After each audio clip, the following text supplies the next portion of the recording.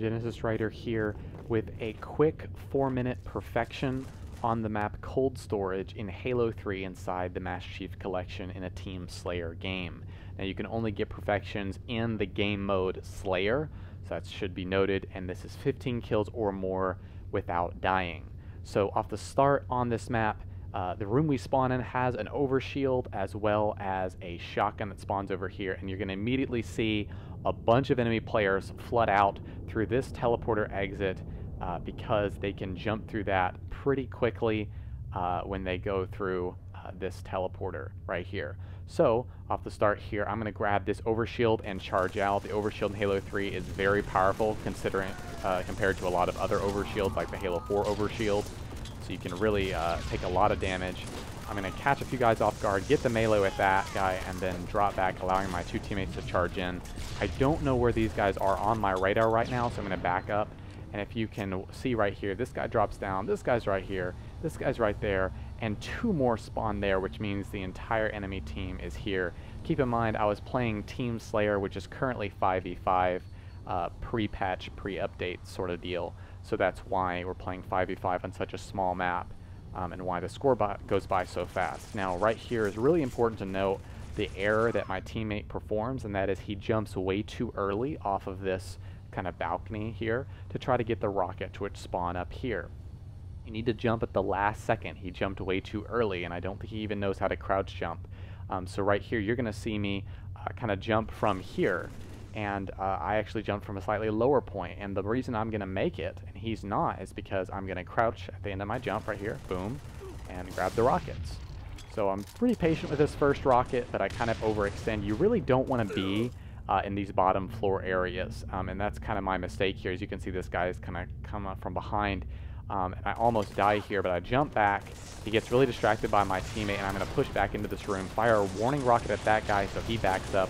But once again, I got a lot of people on my radar behind me, so I really need to back up and get out of here, um, as I don't know if they're above or below me on the radar, because Halo 3 doesn't really show you that um, as clearly as like something like Halo 4 or Halo 2 Anniversary does. So I'm going to portal back uh, to where I began. Now, this is really important to note. This is a really useful portal. If you go through this portal right here, you are going to come out on top here. And this is a really useful vantage point, not only to look down on the main room, but you can curve back around here to where I started for uh, the overshield spawn on the side and the shotgun, which is here. Um, and you can pick up some frag grenades in that hallway and whatnot. Very important to note that now my teammate who has a sniper rifle and a shotgun in front of me is unfortunately going to get stuck by this enemy player, and this almost happens to me later on in the film, so I notice that he dies. Going to pick up his sniper, but then I realize, okay, I want the shotgun on this map, because this is probably a more close quarters map. So I use this rocket on this guy um, to get the killing spree. Five kills without dying so far. Um, I need to step it up if I'm going to get the perfection. Now, right here is something interesting to note, but I fire the rocket, and he actually shoots it out of midair, which is very, very possible to do, um, unfortunately. So I'm going to go back here and grab the sniper now that I'm out of rocket ammo. I'm going to look across to this area, and it's very possible the enemy team could spawn here. Now, my sniping skills in Halo 3 are nothing to gawk at whatsoever. I am much...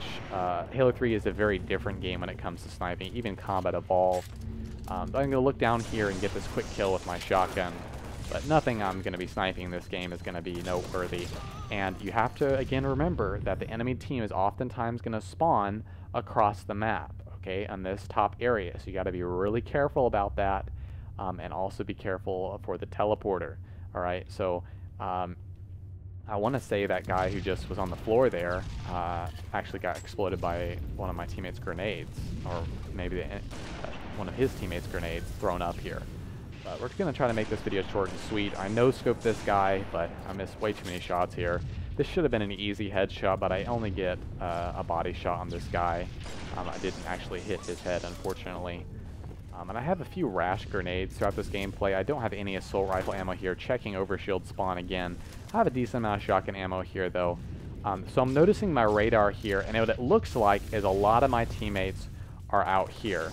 Um, so what's gonna you're gonna see a teammate even spawn right there beside him. So I know this guy charging out is going to be an easy, easy kill uh, with my shotgun as long as I can run in here. I'm kind of just picking kills away from my teammates um, so that we can make sure to get the kills first off and so that I can actually uh, increase my spree here. I was not expecting to get the perfection though, which is something that I really should mention. This is not, not me expecting, this is just me playing passively, which is the way I really like to play. Uh, right here, this guy gets completely uh, confused by my teammate who's over here in the corner. I guess he sees him and thinks, oh, okay, he just spawned and I'm going to go attack him. You always want to melee after you shotgun in Halo 3, uh, not because a shotgun is super weak, but it is weaker than uh, Halo 2 or Halo 4 shotgun for darn sure. So you want to melee after you shotgun uh, just to uh, make sure that the kill connects. Um, when when combined with the melee, it's pretty powerful. So right here, I really want to trade out my assault rifle for uh, the needler since I had no ammo there. So the reason why I charge over here is because I don't see anybody, which means uh, that most likely, if they're not up here and they haven't charged out here, they, they've either gone to the teleporters and they're all behind me now, which is very possible, or they're all kind of spawning in this lower room, which, which really uh, kind of seems to be the case. So I'm going to come over here and I'm going to uh, look for the camo and that which normally spawns in that corner the sniper is, is uh, over here as well. So I'm going to uh, circle back to check those power weapon positions. I get the energy drain here and I catch two people off guard, which is what I was hoping to do with that flank. Get the double kill, throw this power drain uh, into this area, hopefully letting my teammates charge in there and get that kill. I notice this guy behind me on my radar really quickly here. Really paying attention to my radar here. Almost die from a sticky, like I said earlier. Um, and I'm going to pick up this camo and use it to long range shoot with the Needler. Now I would like to pause here and mention that the Needler in Halo 3 is the most powerful Needler in any of the Halo games. Unlike the shotgun, which is probably the weakest in Halo 3 of any of the Halo games, the Needler absolutely dominates, partly due to the slower Spartan movement speed and just the fact that you can't get away from it as easily and it's so long range. You don't have to get very many needles into someone before they die. It's quite jarring to have it used against you.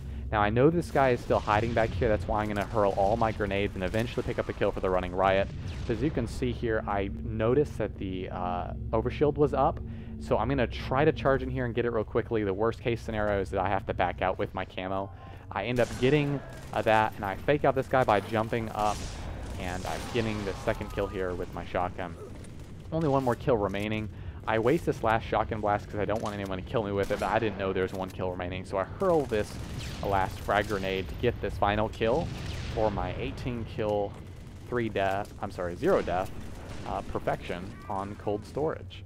So guys, thank you for watching uh, this gameplay. I wish I could have uploaded something from like uh, Halo 2 Anniversary, something uh, more spicy from uh, the Master Chief Collection, obviously, but this is a, a kind of quick film that I could upload. I'm not feeling a whole lot of, uh, for lack of a better way to put it, really, really hardcore motivation when it comes to the Master Chief Collection because of all the bugs and glitches that are existing in matchmaking right now.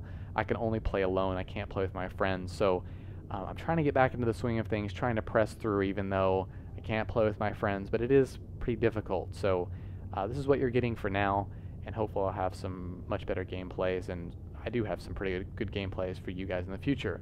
So again, thank you for watching. Like the video, helps other people find it. Subscribe for future the Master Chief Collection content, and I'll see you guys in the next capture or whatever end up recording. Peace.